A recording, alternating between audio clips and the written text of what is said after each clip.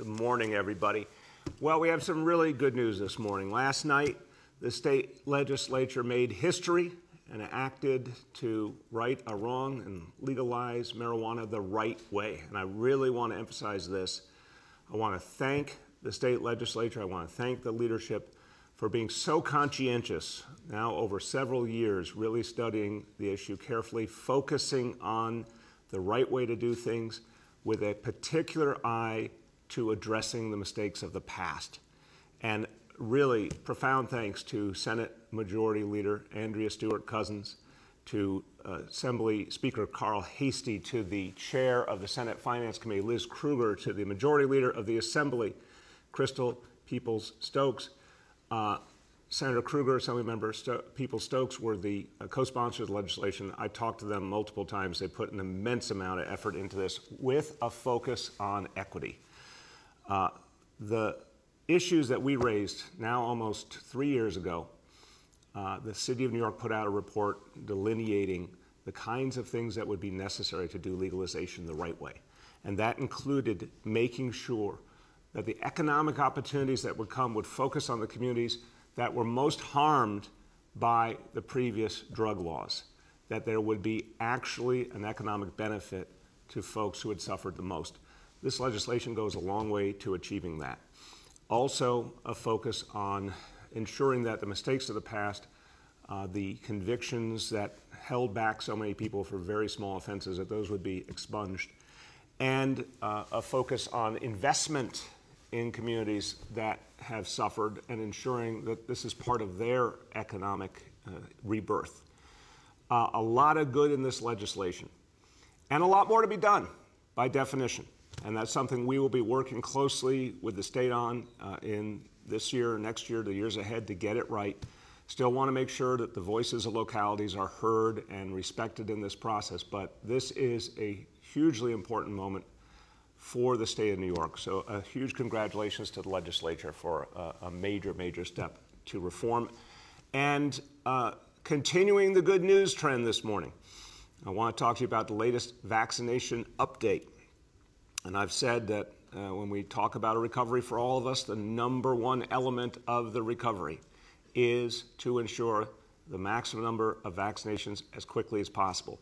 So today, good news, we have passed the 4 million vaccination mark. Over 4 million vaccinations have been given in New York City since this effort began. The exact number, 4,058,854 doses have been given.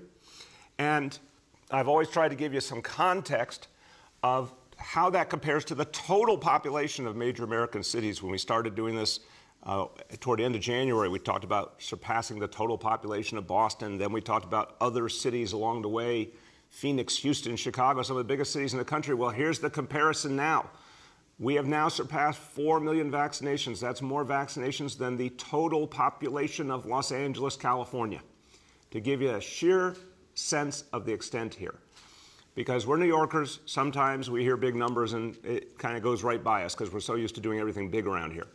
Think about that, though, as many doses given as the total population of LA, and we're going to be going farther going forward. We'll start comparing to state populations since we've run out of other cities to compare.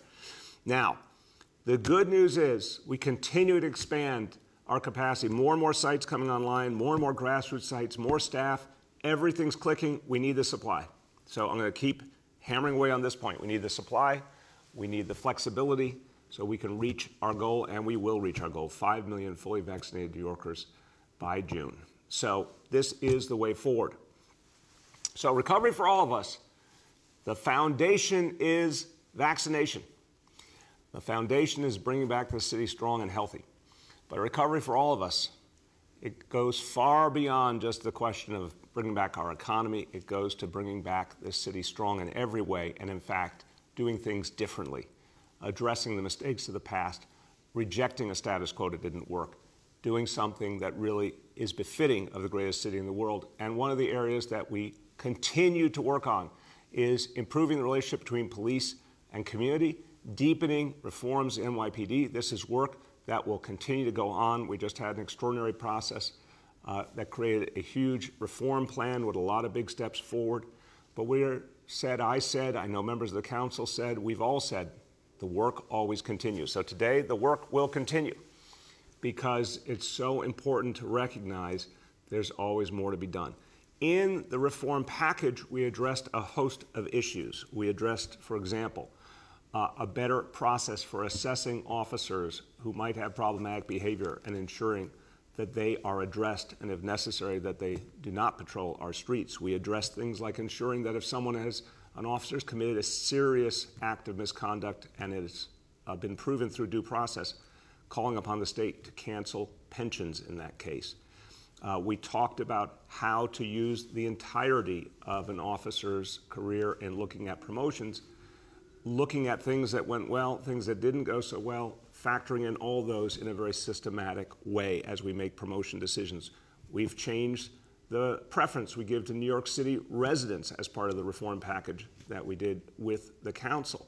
So now New York City residents will be further favored in the recruitment process to become police officers. And we're addressing so many of the root cause issues, looking at what has historically been called the poverty to prison pipeline and how we can undo that and address the root causes. All of these things are work, we're working on right now as part of that original reform plan. But we want to do more. And in the conversations uh, with community members, with elected officials, particularly city council members, a lot of other ideas came up that we want to keep addressing. And I particularly want to give thanks to Councilmember Adrienne Adams of Queens, who is the chair of the Council Public Safety Committee. We had a number of very detailed conversations as part of the reform process. And we talked about the fact that although there's been real progress in ensuring diversity in the leadership of the NYPD, there's more work to be done. And we talked about the ways that we could make sure that happens systematically, not just on the basis of individual promotions, but on a, a whole systematic level throughout the NYPD. And we talked in particular about other approaches that have worked in this country. And one of them we borrow from professional football, from the NFL, the Rooney Rule the idea of ensuring that for every major position that there is a guarantee that people of color will be interviewed and given maximum opportunity. That approach in professional sports has proven to be effective. There's always more to do, but it's really helped. We want to bring that approach here to the NYPD. And it's something that you know, it could be done in a lot of different ways going forward beyond the NYPD, but we're going to start with the NYPD because it's so important to show the communities of this city that everyone is represented in the leadership ranks of the NYPD. So I want you to hear from some of the council members who've been involved in this reform process. And I want you to know that the work we all did together has led to the decision to issue an executive order that will address the hiring process at the NYPD and ensure that diverse applicants, candidates get opportunity. So this will be a major reform and a systemic reform. And it came out of these conversations with the City Council and particularly with the Chair of the Public Safety Committee. My pleasure to introduce Chair Adrienne Adams. Good morning. Good Morning, how are you? Thank you. I'm doing well. I'm doing well. Thank you so much, Mr. Mayor, for having me on this morning to speak about this important executive order that I hope will bring some changes to the upper ranks of the NYPD. And I think it's uh, highly appropriate that this executive order is issued on the last day of Women's History Month, which is extremely important. You know, we know that a lack of objectivity creates favoritism, nep- nepotism, and discrimination. And like many aspects of our world, representation and diversity are important because you want to see yourself, your experiences, and your community reflected, whether it's in government, in our civic life, or in policing. Having decision makers at the table who understand your background and have walked in your shoes make a tremendous difference. Your policing report, Mr. Mayor, shows that recruits of color have increased from 47% in 2013 to 60% in 2020, and from 17% to 24% in women. So that does show that the police department has made an effort, and with some success, to reach into underrepresented communities when it comes to recruiting and hiring. And while I do give credit where credit is due, there are still significant disparities when it comes to the upper ranks and leadership where important decisions are made. Decisions that impact not just the police force, but residents, businesses, and everyone who interacts with the police. Today's executive order to ensure a diverse candidate pool when considering top NYPD promotions is crucial to achieving the goal of diversity at the top. When we talk about equity, as part of that conversation and this executive order will provide that opportunity. And while the NYPD is mandated to conduct a meaningful interview of at least one qualified applicant who comes from a diverse background, I certainly hope it won't just be one candidate who's considered, but several candidates of color and women who are ready for the job. I'm confident that this important change, combined with other reforms to the promotions process, will have an impact on diversity in the upper ranks of our police force, and I hope it will make the police department more transparent, more fair, and overall more representative of our great and diverse city of New York. Like I've said in the past, and you've just said, Mr. Mayor, this is the floor. We're not at the ceiling yet. This is just the beginning. This is not the end. And I'm truly committed to doing this work. So thank you again, Mr. Mayor, for issuing this executive order and for taking this crucial step towards meaningful, meaningful, transparent, and fair police reform in New York City. Thank you so much, Council Member, and thank you. I really appreciate our conversations, and I appreciated the way it helped bring out new approaches, new ideas. Thank you for your leadership. And as we said many times when you and I talked, uh, police reform is something that continues, and we're going to be doing a lot more in the course of the months ahead. So thank you so much. And now I'm going to turn to uh, your predecessor, uh, who was public safety chair earlier in our administration and, and, with whom I spoke many times as well, and someone who is passionate about neighborhood policing, about ensuring that there's a deep bond between police and community. She's been a leader in the reform efforts uh, from the very beginning of this administration. My pleasure to introduce Councilmember Vanessa Gibson. Thank you so much, Mr. Mayor. Good morning to you. Good morning. How you doing? I'm doing well. Blessed Wednesday. Thank you so much for having me today. You are very welcome. Thank you. As the first woman and person of color to chair the Committee on Public Safety in the New York City Council, I have always talked about the priority of diversity, both in the recruitment of new members of the service and at the executive level. Together, we have worked with the NYPD fraternal organizations, and many stakeholders on collective efforts to ensure that the NYPD is reflective of our diverse and talented city. Today's announcement is a bold step in the right direction to begin the necessary reforms to the discretionary promotions process to focus on a diverse and qualified executive team leading the police department that looks like New York City. This effort will improve fairness and equity in our system and ensure that all candidates considered for discretionary promotions is inclusive and transparent. At the highest levels of our department, we have an important and a unique opportunity in this moment in history to lead by example and demonstrate our commitment to attracting the very best leaders to keep all New Yorkers safe. Unfortunately, there has been a long history of many candidates of color and women not holding executive level positions. But we have started to see changes, and I want to acknowledge those changes by the recent promotions of a diverse team of leadership, including this week's promotion of Chief Rodney Harrison as the new Chief of Department, the highest ranking uniformed member of the service. Also want to acknowledge the recent promotion of Chief Juanita Holmes as our Chief of Patrol. And I also want to acknowledge the past leadership and the dedicated service of our former Chief of Patrol, Fausto Pichardo. When a police department is trusted by its community, the job works exactly as it should.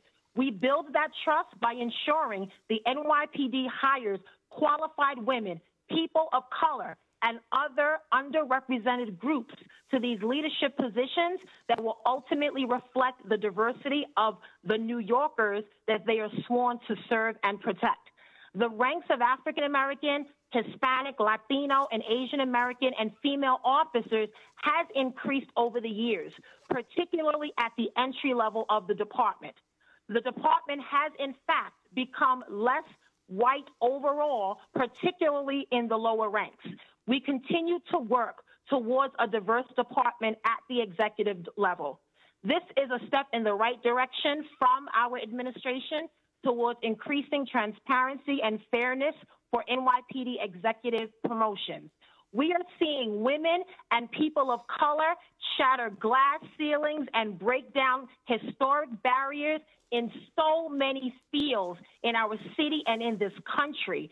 Now we have an opportunity to do the same for the NYPD. So I am thankful, Mr. Mayor, for today's executive order, which affirms our commitment and our dedication to this important issue. And I want to thank you, Mr. Mayor, for your leadership in striking a delicate but necessary balance.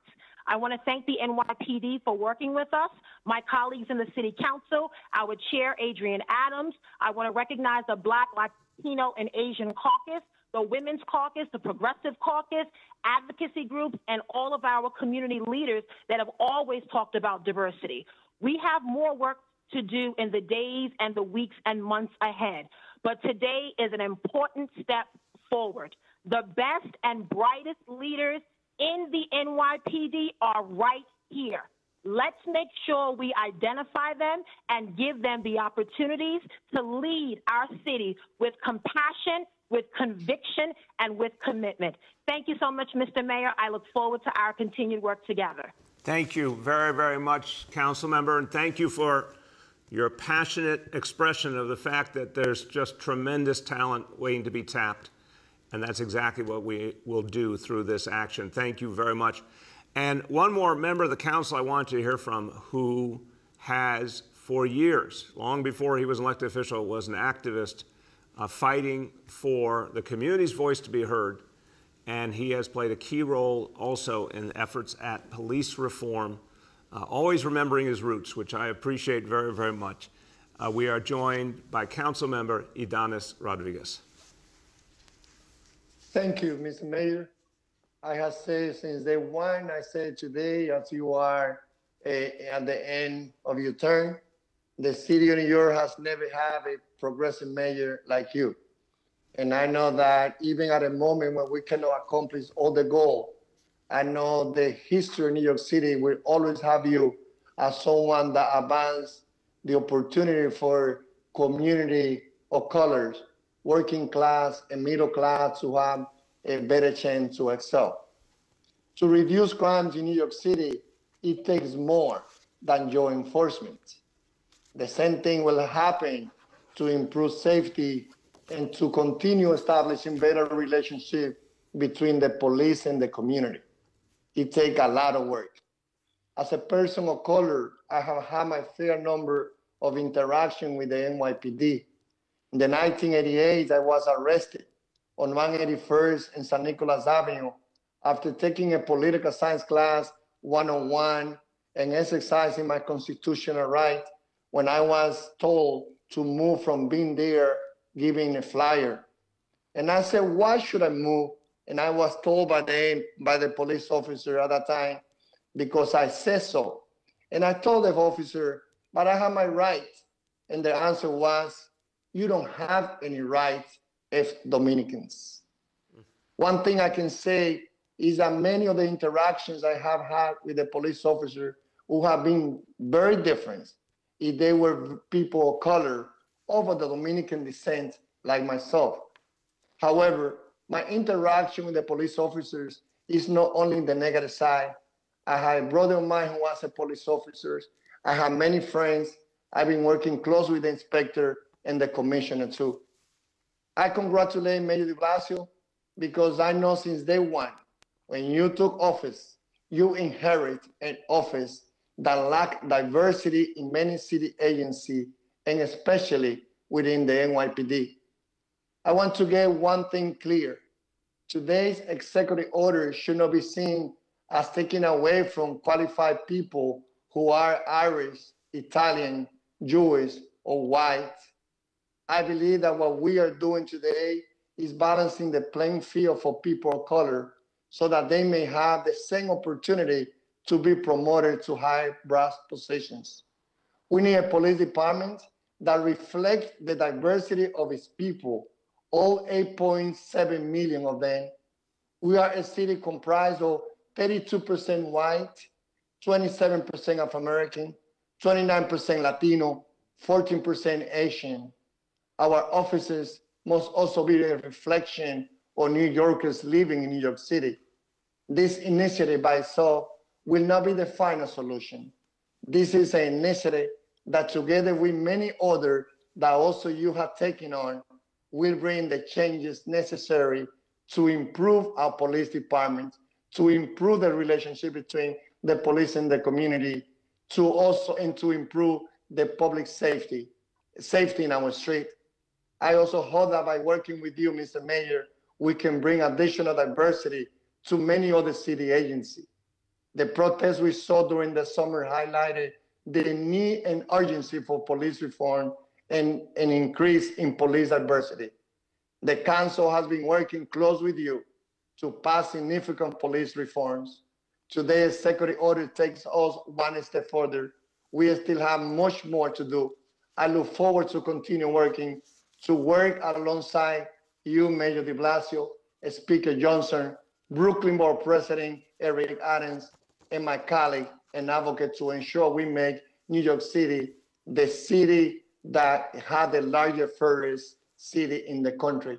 Gracias al alcalde por su liderazgo, por la oportunidad que nos da hoy en esta orden ejecutiva, donde se crean mejores condiciones para que el Departamento de la Policía le dé más oportunidades a oficiales de colores a ser promovidos y tener mayores oportunidades de, te, de tener liderazgo en el departamento y que lo mismo siga ocurriendo en todas las agencias de la ciudad.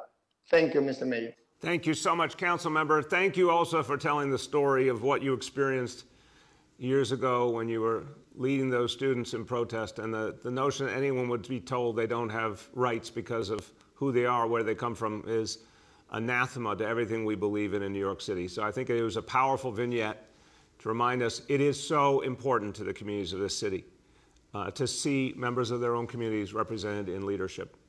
And uh, one of the things we heard throughout the reform process, the very, very intensive series of public hearings and meetings, stakeholder meetings, almost 100 different gatherings during the reform process, was the consistent request that we see more and more diversity in the NYPD and more and more diversity in the NYPD leadership. So thank you for being a part of that.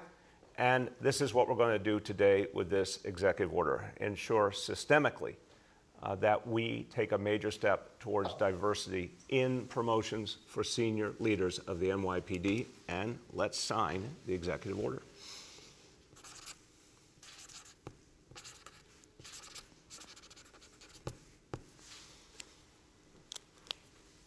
And this will take effect immediately. I want to emphasize that. This will be affecting all promotion actions by the NYPD starting immediately. All right. With that, we're going to go to what we talk about every single day our indicators and our fight against the coronavirus. So, first, number one, daily number of people admitted to New York City hospitals for suspected COVID 19. Today's report 237 patients. Confirmed positivity level 61.48%. Hospitalization rate 3.83 per 100,000. Number two, new reported cases on a seven day average. Today's report 3,461 cases. And number three, percentage of people testing positive citywide for COVID 19. Today's report on a seven day rolling average 5.93%. Now, I want to say a few words in Spanish, and I'm going to go back to the police reform we just discussed.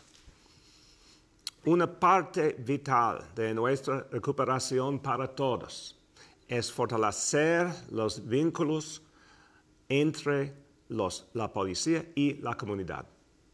Hoy firme una nueva reforma para hacer más diverso el Departamento de Policía. Nuestras comunidades están más seguras cuando nuestro departamento, departamento de Policía se parece a nuestra ciudad. With that, we turn to our colleagues in the media. And please let me know the name and outlet of each journalist. We'll now begin our Q&A. As a reminder, we're joined today by Dr. Ted Long and by Senior Advisor Dr. Jay Varma. First question today goes to Andrea Grymes from WCBS. Hey, good morning, Mr. Mayor. Thanks for taking my uh, my call. Uh, my first question is regarding the Asian hate crimes. A number of the suspects have proven to be homeless men, and it seems like these attacks are getting increasingly more violent. The NYPD was taken out of the homeless outreach business. Who is in charge of monitoring the homeless population, helping them, and and getting help for them, and specifically the, the, the people who are more violent? Andrea, look, thank you for the question. We, uh, in every way as a city, have to work together to stop these attacks. Um, we are seeing them, uh, different people, different places, they're all unacceptable. And again, the crucial need is for, in every case, whether someone regards it as a small act or a major act, to report it.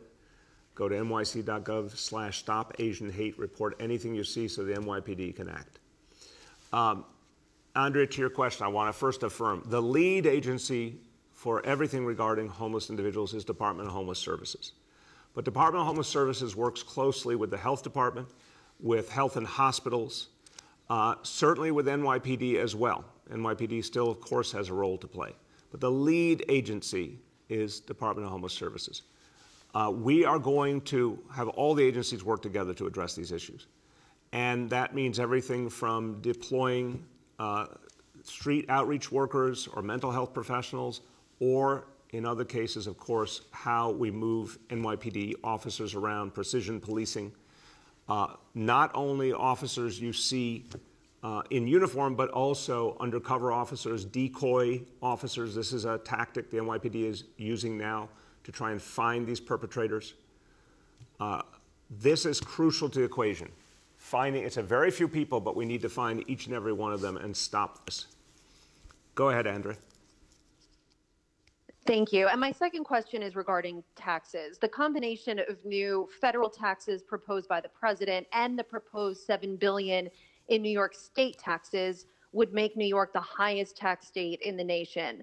How worried are you that this will force people out of the city, affect the city tax base, and should New York lawmakers seek a lower tax increase given what the feds are doing?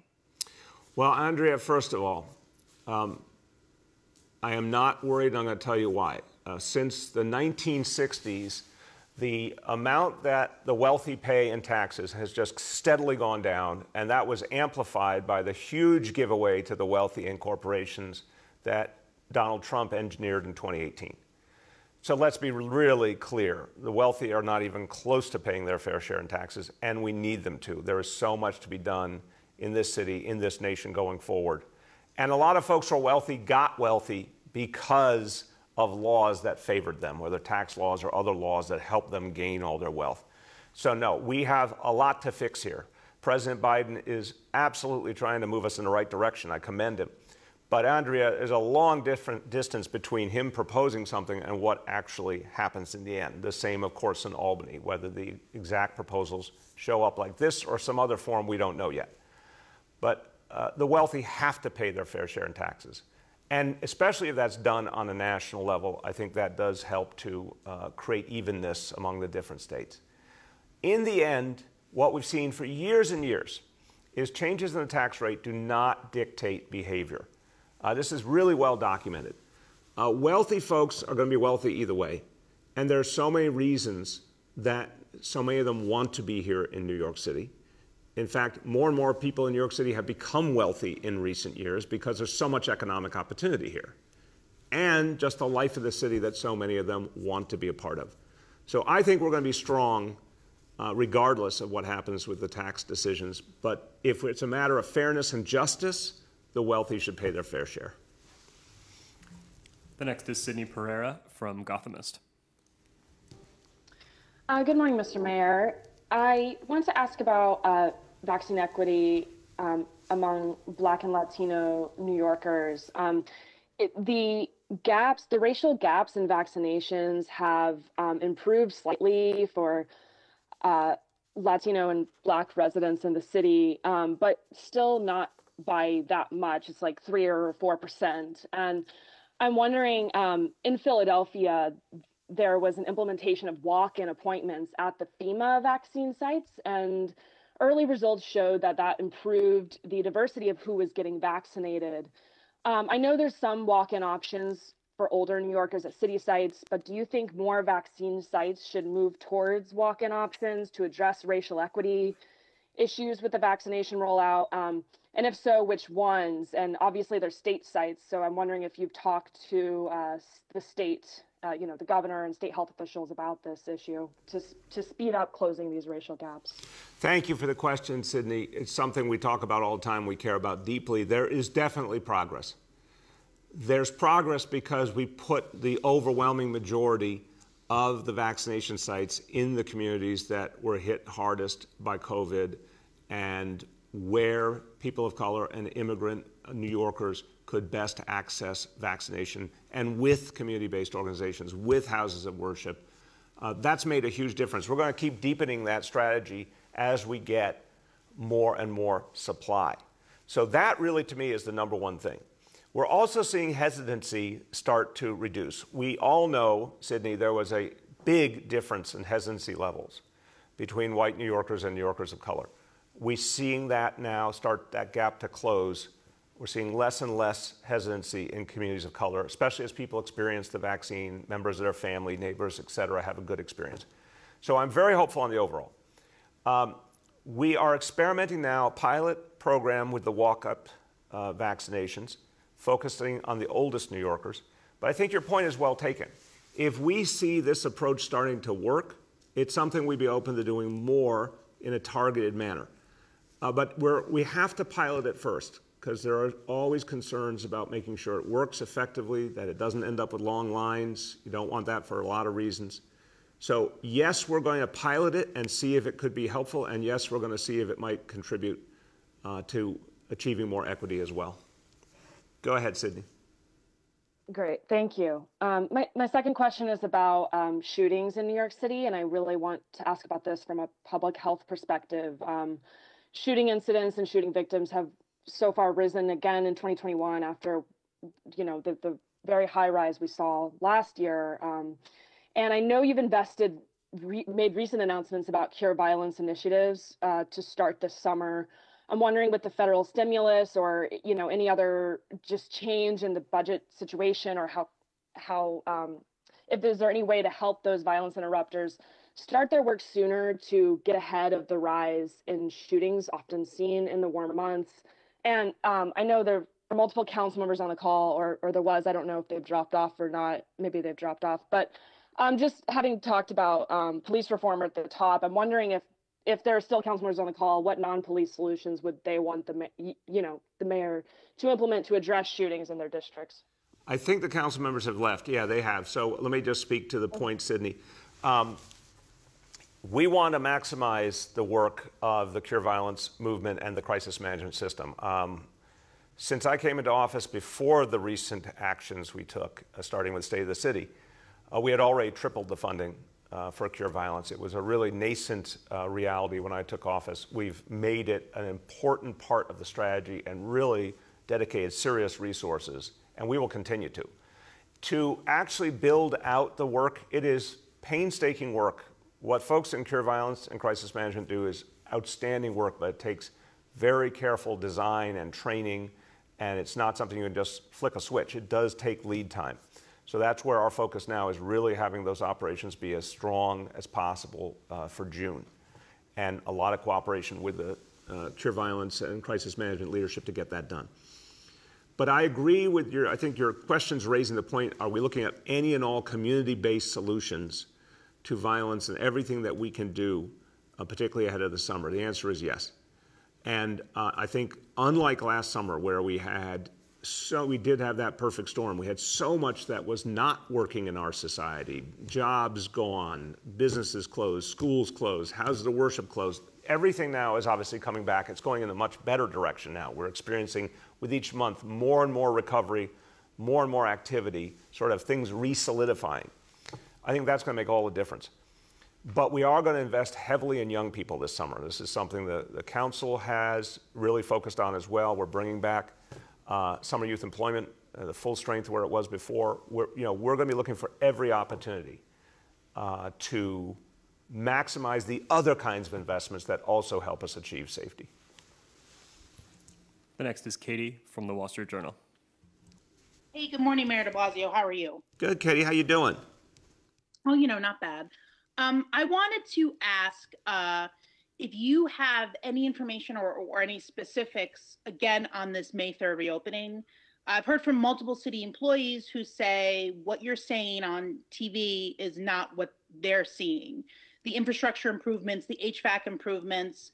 Do you have a cost estimate? I know that we had that when schools were kind of retrofitted to allow for schools, but do you know how much the city has spent so far on these infrastructure improvements to allow for cleaning and particularly airflow in once employees return?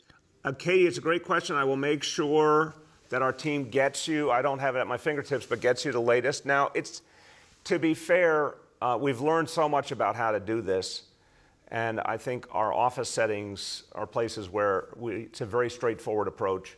You know, how many people you want in one place, everyone keeping on their masks, making sure the ventilation is good, making sure there's regular cleaning. We have a pretty good game plan, uh, and we're still talking another uh, five weeks or so until folks start to come back. But we'll get you a sense of the costs involved and how it's progressing. Uh, but I feel very confident we can do this safely. Go ahead, Katie. And uh, following up on that, I know you said you've learned so much from the schools reopening. So will there be, like we've seen in schools, a situation room? Is there a policy on closures if someone in an office, if there's more than one positive case, will there be weekly testing? Just more information on that. Yeah, and we will be saying a lot more as it gets closer. I think the, the central point, a great question, is we, of course, want a clear mechanism and a well coordinated mechanism for ensuring if there's anything that needs to be addressed, uh, that it's done uh, promptly. Uh, the Situation Room was created for a very different reality uh, with 1,600 uh, schools and you know very very challenging logistics. Again, our city office buildings that's a, a much more finite uh, universe. so we'll talk about how we're going to handle those individual situations, but I think it's a very good point you're raising, and we will go through it in one of the press conferences, laying out the details of how we're approaching it as it gets closer. The next is James Ford from Pix 11. And good morning, Mr. Mayor and everyone on the call. Good morning, James. How you been?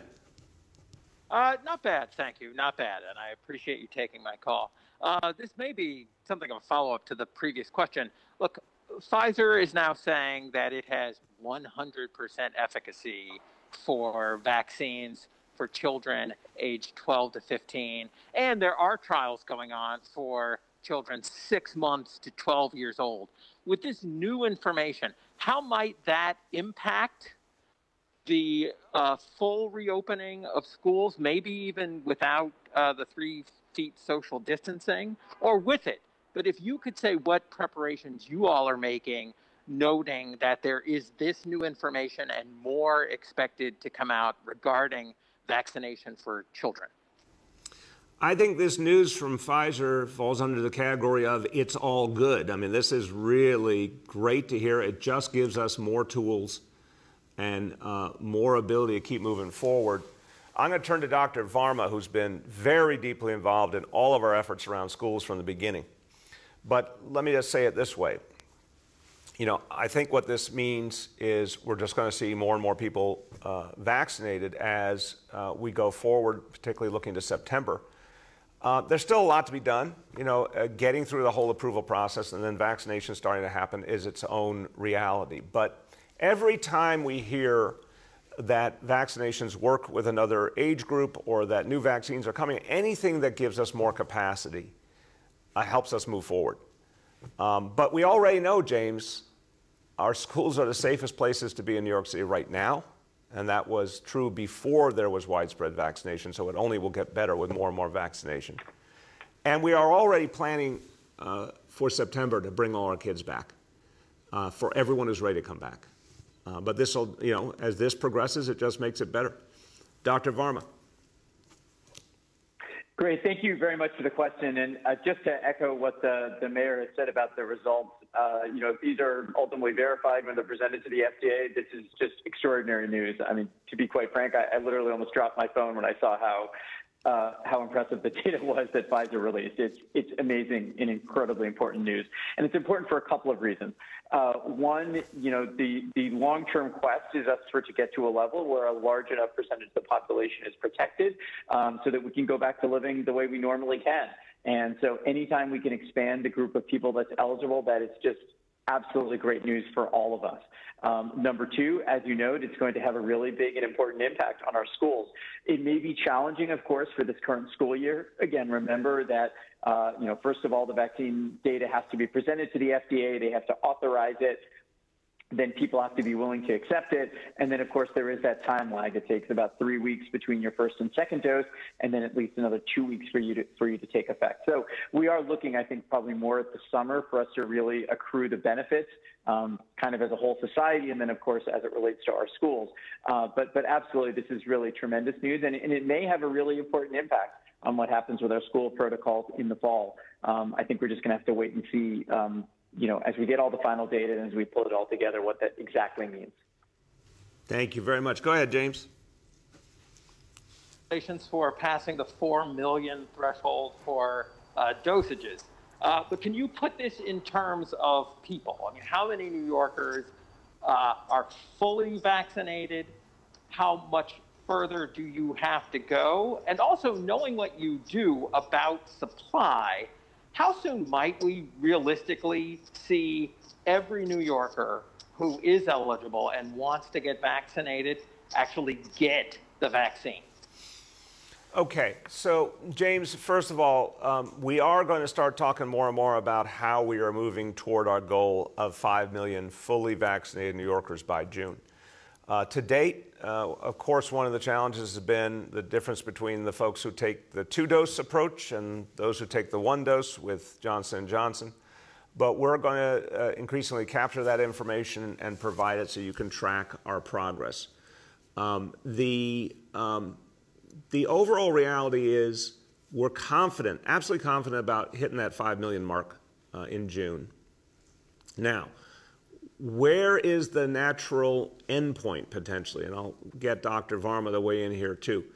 I think we have seen that, first of all, supply wise, um, we unquestionably, we proved it last week, we can do half a million doses a week. We can probably do substantially more than that.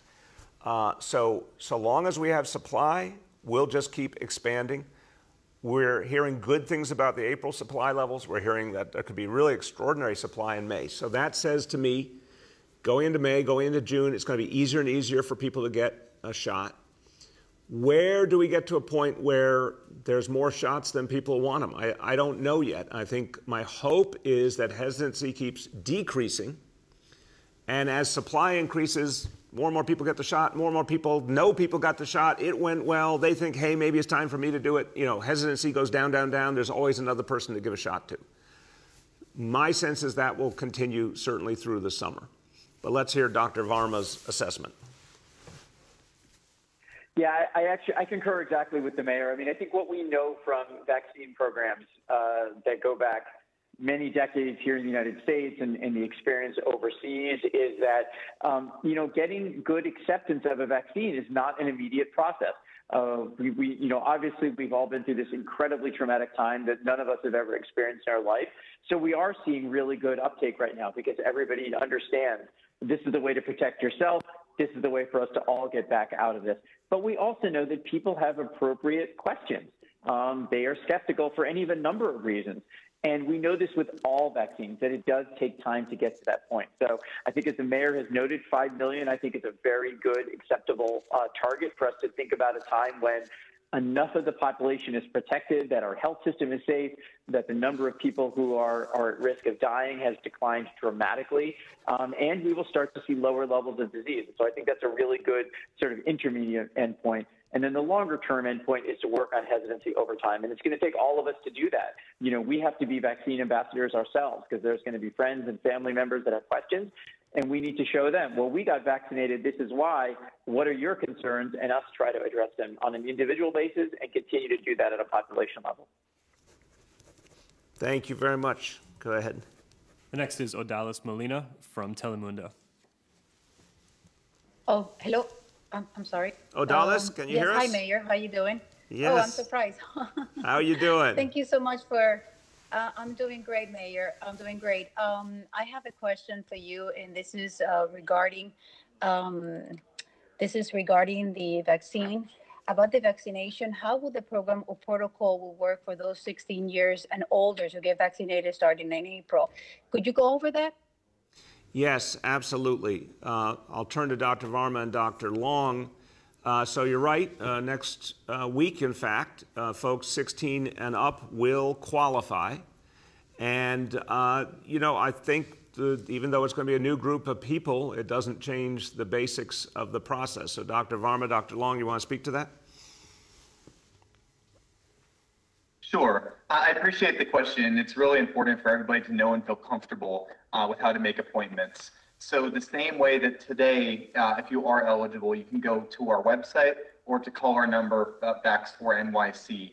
Um, those opportunities will be made available um, the same way for people 16 and above um, when they're eligible for the vaccine next week. One thing I'll note is that the Pfizer vaccine is the one that is available for people 16 and above. So when you call or go on our website, it's clearly demarcated which sites have that vaccine in case you're 16 or 17 years old, so you can know which site you should be going to. Thank you very much. Go ahead, Odalis. Yes, there are talks about the fourth wave uh, due to the increase of the uh, new numbers of COVID cases in the nation, plus the different variants reported. What is the plan for New York City looking ahead? Can you talk a little bit about that or share more information? Yeah, Odalis, look, um, I'll start and I'll turn to Dr. Varma. The, um, we take the situation very seriously. And again, what we decided long ago is the only way to make decisions is by you know, being led by the data and the science. We are watching these numbers every day, every hour to discern what kind of moves we need to make. Um, overall, look, thank God we have seen the situation in the hospitals improve markedly. We've seen fewer deaths, but we're still really concerned about the number of cases. We're still really concerned about the uh, impact of the variants. So we adjust constantly. Where I would keep saying there is a concern is some of the decisions that the state is making. I think some of them are premature. Uh, certainly, the fitness classes was an example of that. I'm concerned uh, the decision that they made about uh, indoor athletics for colleges. Again, we think athletics should be focused on outdoor activities for the foreseeable future while we see how the variants play out. So I think there's some decisions that are taking us a little too quickly uh, into areas that it's, it's just premature. That would be my concern. But I think if we, if we stay careful and cautious, we can navigate this because the pace of vaccination is so intense. That's the good news. And we think it's going to jump up a lot in April as more supply comes. Dr. Varma, you want to add? Yeah, thank you very much. Uh, you know, to echo what the mayor has said, you know, we are still in, uh, you know, coming down off this second wave of ours, and unfortunately, we are not um, seeing the declines that we really want to see. So we remain very concerned. Um, I think our, our healthcare system has proven to be incredibly resilient, um, but our, what our real concern is people getting sick um, and people dying. And we need to do everything we possibly can to prevent that. Vaccines are the most powerful tool to achieve that, um, but they take time. Uh, it takes time to receive the vaccines. It takes time for your body's immune system to be fully protected. So, in that interim period, we have to double down on all of the measures that we've been taking for this past year. Uh, the reason it's called pandemic fatigue is because it is hard. Um, it's hard for all of us, emotionally, physically, to, to sustain this, but we need people to keep wearing masks, getting tested, maintaining distance, washing their hands, and staying away from others if they happen to have symptoms. There is a very real possibility that um, you know we can be completely out of this. Um, you know, within another six to eight weeks of very aggressive vaccination. Um, but we do run a risk of, of having a resurgence if uh, we relax some of those measures of safety that we know work so well. Thank you very much. Go ahead. The next is Shant from the Daily News. Morning, Mr. Mayor. Hey, how you doing? Exec- I'm good, thanks. How about yourself? Good. So your executive order today reminded me that when you made Dermot Shea police commissioner, you came under some criticism um, for missing a potential opportunity to make a person of color the city's top cop. I mean, I think Councilmember Rodriguez, who was on the call just now, gave an Im- impromptu press conference to that effect. So just looking back at the, at the year that's passed since then and your executive order today, do you have any regrets about making Dermot Shea the top cop instead of a person of color? No, uh, Sean, look, we're talking about something much bigger than just who is the commissioner. Um, we're talking about putting together a leadership team and continually evolving. So, look, I think what we've seen has been an incredibly tough period. I give Commissioner Shea a lot of credit for helping this city through this period and also building up a leadership team. Um, the folks who are in leadership now, uh, Chief Harrison, Chief Holmes, but so many others who represent this whole city. Uh, and he's been doing that systematically right down to the precinct level. And I think it's something that uh, should be looked at to recognize how much he has focused on diversifying leadership within. Uh, so no, I think I think this has been the right approach. Just keep continually building it, and I think it needs to be systemic, which is why we have the executive order. Go ahead, Sean. Yeah, so thanks for that. Um, I also wanted to go back to some of your comments yesterday, encouraging New Yorkers to intervene if they see a hate crime unfolding. And if you could bear with me when I, because I have a kind of analogy in mind, um, basically trying to get at what example are police officers themselves setting here. And it's a slightly different scenario, but when it comes to mask enforcement, my understanding is that's something police officers have basically stopped doing. There'll be times, anecdotally, one is on the subway, you'll see someone not wearing a mask. Police officers will see the same thing, and, and they tend not to say anything about that. So, given that that's the case in that seemingly relatively low risk scenario, what kind of example are police officers themselves setting for New Yorkers who you're asking to intervene in potentially very dangerous scenarios? I, I respect the question, but I don't see the analogy. Um, what we are doing with masks overwhelmingly, there have been times when, of course, there has been enforcement necessary, but overwhelmingly, what the approach is is a positive approach. It is an educational approach. It is reminding people, it's giving people free masks. A lot of that's been done by civilians, some of that has been done by police officers. Uh, that continues. We're going to continue to focus on the subways and making sure uh, that as people come back, there's mass distribution. But I think when you see, I mean, I, I really was reacting, Sean, to that horrendous video that we all saw yesterday. I understand uh, if someone, you know, here's a, an older woman being kicked on the ground. Uh, someone needs to do something. And again, whether it is screaming out, whether it's calling 911, whether it's you know trying to get the assailant to move away, whatever it is, uh, it's a choice people have to make. And I always want people to be smart and careful. But that was just uh, horrifying to watch. You know, someone standing right there and turning away rather than trying some form of intervention. Uh, that I think everyone can find some way to contribute in a situation like that. And again, I hope we see this trend end once and for all. But I do think every New Yorker can stand up to hatred in a lot of different ways. And I want to remind people that the right ways to do it. And you get a lot more information again. Go to nyc.gov slash stop Asian hate for the information on how to do that the right way and to report anything you see because we need those reports to find the perpetrators of these acts. We have time for two more for today. The next is Abu from Bangla Patrika. Hello, Mayor. How are you? Hey, Abu, how you been? Good. Thank you so much for uh, you know asking. Uh, Mayor, um, I have a question which is about the first there is the about the vaccine that the people who are taking the vaccine, two vaccines they already took, but they are still infected. And um, you know, people have questioned whether which one is good, which one is bad. Is there any definition of the Johnson, Moderna, and um, you know the other vaccine have any kind of difference?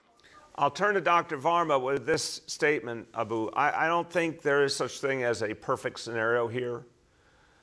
The notion of the vaccines is to greatly reduce uh, the risk of being infected, and it's particularly the risk of the worst outcomes. That's where the vaccines have been outstanding and consistent. But they are not perfect. Um, and I think that needs to be understood. Uh, and from what I've seen, they, they all perform the most important function, which is guarding against serious medical issues and particularly protecting people against death. Uh, so, Dr. Varma, take it from there. Yeah, so as, as the mayor has, has discussed, there are basically two main ways that we consider a vaccine to be effective. Number one, does it protect you from getting severely ill, being hospitalized, and dying? And the second measure is does it protect you from transmitting infection to other people? On the first question, we know the answer and we know it for all three vaccines. They are extremely effective at protecting you from being hospitalized or dying. And we know this from the studies that have been done, and we know this from the real world experience here in the United States and in many other countries overseas. So our recommendation remains the same the best vaccine is the one that you can get right now. So whatever vaccine option you're given, take it. It's not about a brand, it's about the outcome. The second question is one that public health people are still continuing to study, but we're seeing really good news. So the second question is, does it protect you from not potentially infecting other people? And we've seen a study that came out from uh, CDC this week that is really tremendous news. It looks at the first two vaccines, the Pfizer and Moderna vaccines, and shows that they are incredibly effective at stopping people uh, from getting the infection even without symptoms and tra- transmitting it to other people. So I think we're going to probably eventually see very similar data uh, for J&J and can be quite confident again that the best vaccine to get is the one that's available to you right now. Thank you very much. Go ahead, Abu the marijuana, which uh, you uh, have a statement and you told, told is talk about in the morning. Uh, do you have any statistics that what would be the negative impact on the society and the public health of marijuana? Well, I'll, I'll see if uh, Dr. Varma or Dr. Long want to comment, but I'll, I'll say this. I think the important point here was to recognize uh, we've had widespread marijuana usage for decades. Um, it has been uh, only counterproductive to have it be illegal while also being simultaneously widespread. This is a case to me of use the legalization process to address the injustices, the mistakes in the criminal justice system, the mistakes in our law, the disparate negative impact. Um, try to create some positive in terms of economic empowerment for communities that have suffered and revenue that can be used for good purposes rather than just an underground economy. But also address legitimate health and safety issues out in the open. Uh, it is an opportunity to do that. Uh, so I just think it's much more sensible approach. I, look, as a parent, uh, you know, I certainly took seriously that there are health and safety issues here, and I think we need to.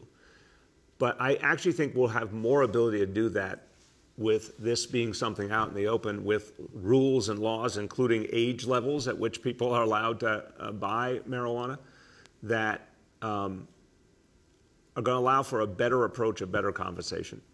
Dr. Varma or Dr. Long, you want to add? Uh, sure, I can start, and I would just echo exactly what you've just said, which is that you know we know that that any type of, of product has a risk of potentially being abused, but we also know that any type of, of product um, can be managed if you put in the right resources. And those resources don't involve uh, criminal justice, uh, they involve you know, informed, supportive care to help people with their problems. So um, I know myself, again, as a parent, um, I think that my, you know, I tell my children, you know, there are things that adults should do and there are things that kids should do. And, and my recommendation is that they stay away from kind of mind altering substances when they're younger and they wait until they're older. And for adults, I think we are still learning, you know, are there long term uh, complications or not? But what we do know is that a lot of adults do use these products safely. They lead highly functional lives. They lead to no severe health outcomes. And we need to have a society that doesn't criminalize um, that type of action and does provide support for people who do end up having problems with it. Thank you, Dr. Long. One And I would just add on to that. Yeah, I mean, as a primary care doctor myself, one of the biggest concerns always with drugs is that they can be, potentially be misused. Having the right regulations in place to ensure safe and appropriate use of um, things like marijuana will only help to save lives. Um, so uh, I, I appreciate the question. Thank you. Thank you. Go ahead. Last question for today is Yehudit from Borough Park 24 News. Good morning, Mr. Mayor. How are you? I am doing very well, Yehudit. I hope you are having a Zizan Pesach.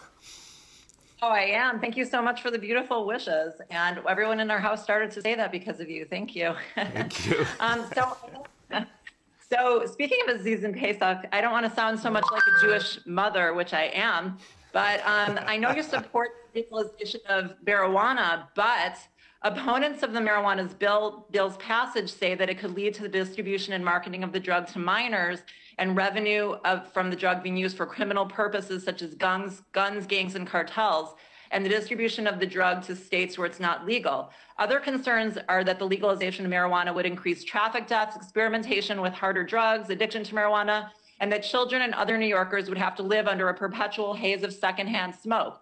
So I'm just wondering, I just before I ask the question, I want to say to Dr. Varma, I think that we all know as parents that, you know, you can tell children, you know, don't do what we do, but we all know that whatever we do for good or for bad, children are going to imitate. So I, I, really firmly believe that. So I was wondering, Mayor de Blasio, if you fear any co- negative consequences at all from the legalization of marijuana in New York.